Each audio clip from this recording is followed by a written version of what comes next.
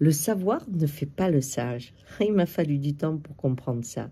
Je croyais que la connaissance apportait euh, le changement. C'était simple, hein. il suffisait de savoir pour changer. Mais combien de fois on dit « je sais mais je peux pas ». Alors tu le sais, pourquoi tu ne le fais pas Et ce qui est valable au niveau de l'être est valable au niveau du monde, bien entendu. Hein Toujours la même chose. Et aujourd'hui, on a des techniques extraordinaires en archéologie, en ethnologie, avec des gens qui sont psy, avec des sociologues, avec tout ce qu'on veut. On revisite le voyage de l'humanité dans sa complexité, dans sa diversité. On arrête de le simplifier on s'émerveille, on s'émerveille. On s'émerveille de comment fonctionne les civilisations et comment elles s'effondrent. On sait.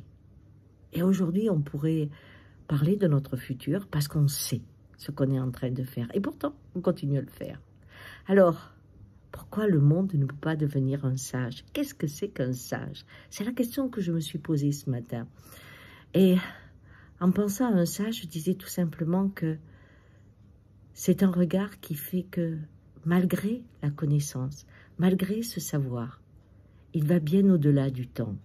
Le sage peut regarder un volcan, connaître la douleur et la terreur qu'il va créer sur ses flancs en emportant des villages, en détruisant des paysages, mais aussi il connaît la suite. Il sait que un jour tout va reverdir, qu'il y aura d'autres villages. Et cette conscience au cœur du temps amène la douceur du présent.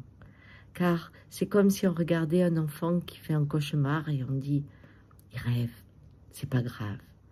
C'est ça le sage.